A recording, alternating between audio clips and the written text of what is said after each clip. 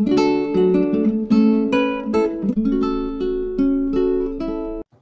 so now we will solve some problems. In the first exercise, we will prove that show ZP with respect to addition modulo P has no non-trivial subgroups. Means ZP cannot have non-trivial subgroups. Means the meaning of this is that ZP has only trivial subgroups okay? And we all know what is meaning of trivial subgroups. Trivial subgroups means singleton identity and the full group. These are called trivial. So we are trying to show in this exercise that ZP cannot have any trivial uh, any non-trivial subgroups. So the solution is very easy. So let us write. So G is ZP so obviously G is a finite group and p is prime. I'm sorry i forgot to write a p is prime. P is always denoting a prime okay? So if zp has a subgroup if zp has a subgroup h then by lagrange's theorem what should happen? Order of h must divide order of G.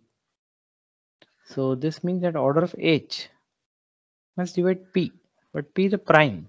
And if any number is dividing a prime, and that order of H has only two options. Either order of H is 1 or order of H is equal to how much? It is equal to P. Correct. So a order of H has only two options. If order of H is 1 means what? H has only one element. So who is that one element? In that case that one element has to be identity because h is a subgroup. And if order of h is p and group is also having p elements in that case uh, what must be the subgroup h? The subgroup h must be complete zp so we have started with that h is uh, any subgroup.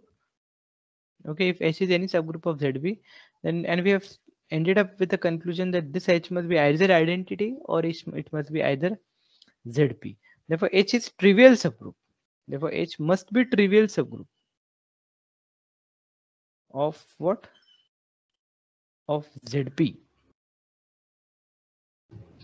Right. So any subgroup of H, sorry, any subgroup of ZP must be trivial subgroup means ZP cannot have non-trivial subgroups. Okay. So if you look at the second exercise now if order of g is a prime number now i'm not taking g as zp if order of group is a prime so where p is prime then g has no non-trivial subgroup. Same the, the answer is the same instead of just having ZP, now I'm just writing a general G. The solution will be same because G is finite. So, and if H is a subgroup of G, then order of H must divide order of G. And this is a prime number, so order of H must be P. Order of H divide P, therefore H order of H is either 1 or order of h must be p. And in that case my h will be either singleton identity or h must be the full group. Correct. Therefore this means that if you take any prime order group it will have only two subgroups. And those two subgroups will be what? Those two subgroups will be trivial subgroups. So any prime order group has only two subgroups and they are trivial subgroups.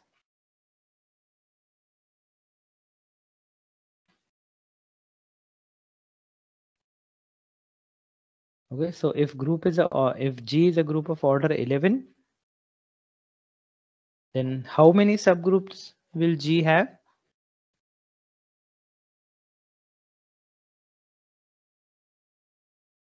Of G, the answer is 2. It has only two subgroups of order less than or equal to 5 must be abelian Every group of order less. So you take any group which is having order less than or equal to 5. So in any group of order 1, we know what is the group of order 1. The group of order 1 is the singleton identity. Any group of order 2, there are many groups of order 2, Z2, 1 minus 1, etc. You take any group of order 3, examples is Z3, 1, omega, omega square, and there may be more also. Any group of order 3. If you take any group of order 4, any group of order 4 is uh, either you take Z4 or you take 1 minus 1 i minus i the roots of unity or you may have uh, a Kleins 4 group which is v v4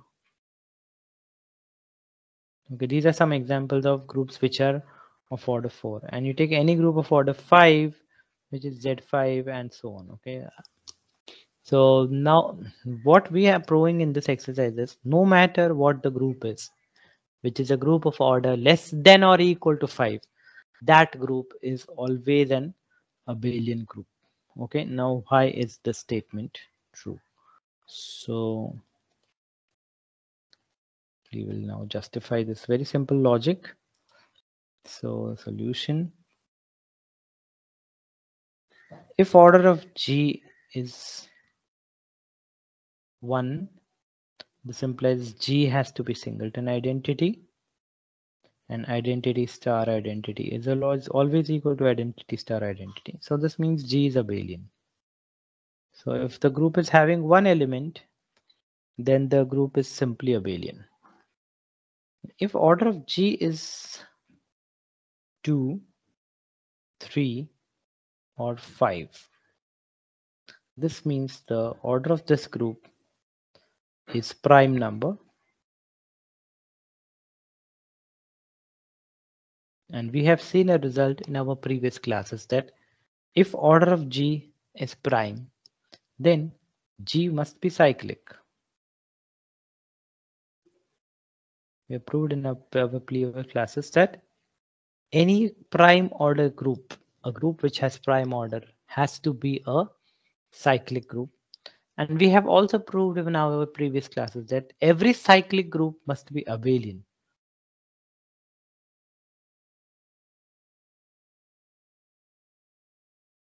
The result that I'm using here is cyclic implies abelian. So finally, if the group is of order 1, then what has happened? then it is of it's abelian. Group of order 2, 3 and 5 all are cyclic. Therefore, they are abelian. Remains only what? Remains only group of order 4. So let's go to group of order 4. If order of G is 4, then group is of two types. Any group of order 4 is of two types. It is either equivalent to Z4 or it is either isomorphic to Z4 or it is V4, which is the Kleins 4 group. And we know that Z4 is cyclic. And we know that Kleins 4 group is abelian, but not cyclic. It's abelian, but not cyclic. Means V4 is abelian.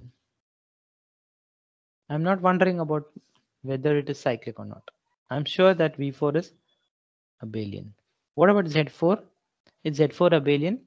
Cyclic is always abelian because any cyclic group is abelian. So no matter whether it is isomorphic to Z4 or it is isomorphic to V4, it is of the type Z4 or it is of the type V4. The group will always be what? The group will always be an abelian group. So the order G is equal to 4 has two cases and in either of the cases in both the cases rather i'm sorry the group turns up to be what the group turns up to be an abelian group. So now we declare that any group of order 4 any group of order less than or equal to 5 is always an abelian group. Why we are not talking about 6? Why we are not talking about 6? Because we know that if order of G is 6, then the group need not be abelian, right? What is an example in front of our eyes? Then G need not be